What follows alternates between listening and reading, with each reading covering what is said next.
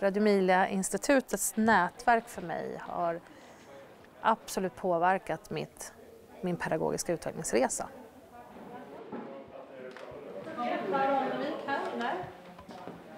Han sitter här i.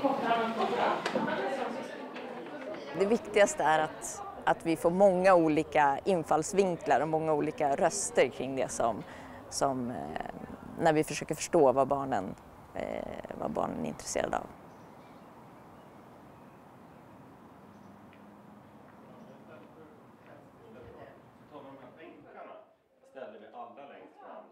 Skolnätverk är jätteviktigt för det finns inte många skolor som jobbar eh, och är inspirerade av Reggio Emilia filosofi. Så vi kan verkligen gå i dialog och mötet och med varandra och kan eh, diskutera alla de här dilemmor som finns i våra styrdokument som är så verkligen inte lätt att hantera i våra skolor.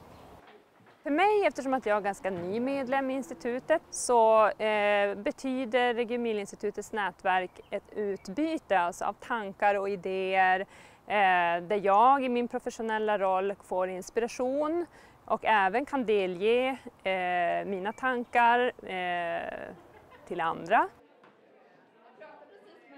Reggio Emilia-institutet i Stockholm startade 1993 efter att man i flera år intresserat sig för den pedagogiska filosofi som bedrevs i Reggio Emilia i Italien. Institutet har under många år fungerat som en viktig mötesplats för pedagoger och andra som är intresserade av Reggio Emilia-inspirerat arbete. Och med tiden har man byggt upp många olika nätverk över hela landet. Det är nästan en av de kraftfullaste eh, verktyg som har utvecklats kring det som man säger att Reggio Emilia-inspirationen har påverkat svensk förskola.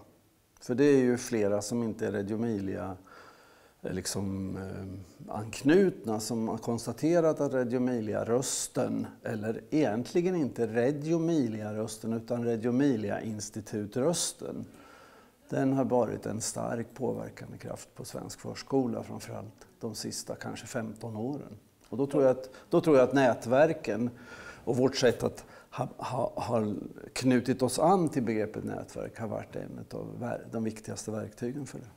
Nätverkets idé det handlar om att vara i dialog med den andra. Eh, både den som är lik mig men också den som är olik mig. Och I det mötet så händer det något med mig som jag sen tar tillbaka till min egen praktik och där eh, inspirerar de som jag har runt mig. Så att eh, det är väl det där och det kanske är så att den andra som tänker olikt mig är de intressantaste mötena. Reggio Emilia-institutet har haft många utvecklingsprojekt genom åren. Nu vill man väva samman de erfarenheter man fått i ett nytt och större projekt. I Reggio Emilia har de arbetat med hållbarhet och i dialog med kollegorna i Italien föddes idén med ett öppet nätverk på temat hållbar framtid. Institutet gjorde ett upprop till sina drygt 100 medlemmar och till de förskolor, skolor och kommuner som de arbetar i. Och gensvaret var över förväntan. Under första året har cirka 1 000 personer från hela landet deltagit i de nya nätverken. Innan när vi har bjudit in till nätverk så har vi bjudit in medlemmar och, och sammanhang som finns i vårt eh, eh, medlemmar som, och deras sammanhang så kan man säga. Eh, nu har vi ju bjudit in förskolor och skolor som är intresserade via sociala medier så det är många som har hittat oss den vägen då. Mm. Jag ritar tallriken också. Det är jättebra. Den står ju på en tallrik, eller hur? Man brukar utgå från ekologisk, social och ekonomisk hållbarhet. Men hur tänker man ur ett Reggio Emilia-inspirerat perspektiv? Jag tror att, att vissa av de här Reggio Emilia-inspirerade då, metaforen eller man säger miljön som tredje pedagog, den, den handlar ju ändå om en, en plats där barn hittar material och redskap för att utveckla sina tankar och frågor och sitt undersökande av saker. Så det tänker jag, det är det måste vi värna om. Vi måste också värna om eh, pedagoger som är där och inte är så fast i i rubriker, i områden, men naturligtvis eh, ha med sig frågor som man tänker, det här vill jag lyssna lite mer på. Hur tänker de här barnen om det? Vad har de för strategier och så? Så den här lyssnande, medforskande pedagogen som också då Radio Emilia ofta använder, det tänker jag också är en, en viktig del. Eh, och sen tid och tempo, alltså ge saker tid. Eh, att inte, eh, Ehm, det, det, blir inte klart utan att man också kan jobba länge med, med saker. Och man kan jobba under hela dagen med saker. Man organiserar så att också barnen kan återkomma. Så tid och tempo och miljön och materialet och den här pedagogrollen tror jag är, är jätteviktiga redskap och, och eh, i det här hållbarhetstänket. Hur mycket? Mycket. Titta, där här är nollan. Och sen 200 gram, 400, Det är 600, åtta. ett kilo och 100 gram. Vill du ha ett kilo? Mycket ett kilo och 100 gram. Hur mycket nu? Nu, det är nästan tre kilo. Välkomna! Som sagt, det här är sista tillfället för oss, eller hur? Sista eftermiddagen. Nästa moment i den här kursen som är att utforska människokroppen.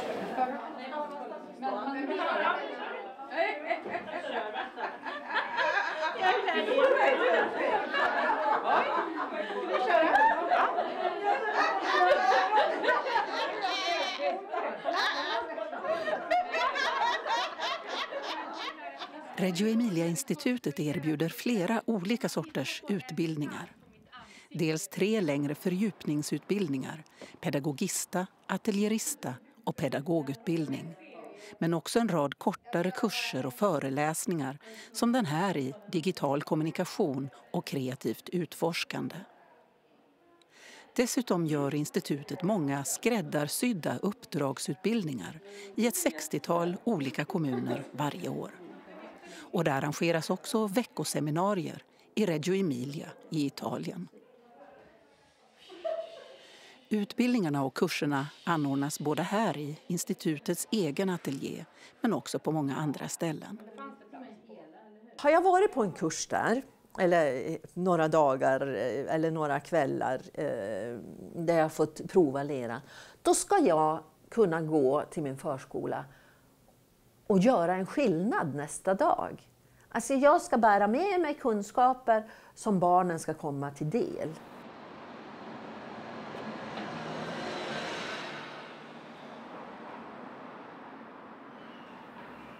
Lena Hallengren är ordförande i utbildningsutskottet och har följt Reggio Emilia-institutets arbete under många år. På vilket sätt anser hon att institutets verksamhet inspirerat svensk förskola?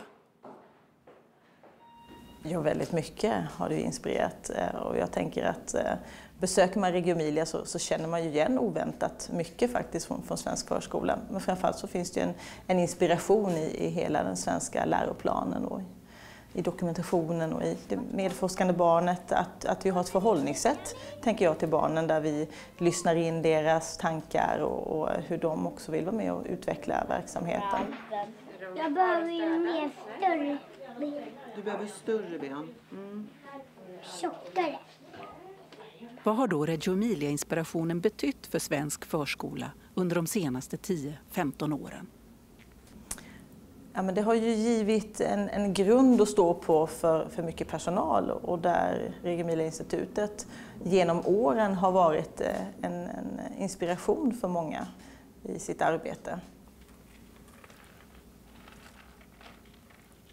Reggio institutets visioner för framtiden tänker jag är att bli en mötesplats för fler röster. Ett, en, en större och öppnare dialog kring barns rättigheter till bra förskolor och skolor, eh, men också kanske kring det här medborgarskapet i staden och i landet. Och då tänker jag både nationellt och internationellt, men med fler röster och kanske inte de som redan nu direkt är Radio Mila-inspirerade, utan också eh, på andra sätt kan vara med och bidra med sina eh, tankar om det. Eh, och då tänker jag också eh, politiker eller utbildningsförvaltningar och sådana som också har lite makt. Så tänker jag.